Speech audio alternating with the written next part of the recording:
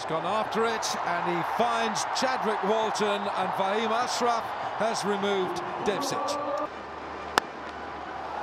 Big shot, doesn't get connection, and is that taken? That's a wonderful catch. Gone, taken at point. The catching has been flawless from the United. Equivalent, he bangs it in. Does generate pace and bounce.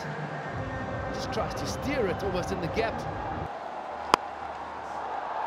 Should be out, is it? Shut up! Oh, yeah, running, too easy.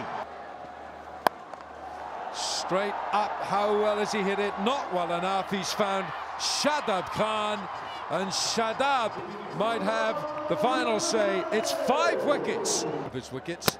Ball him. It's a six-wicket haul for Faheem Ashraf.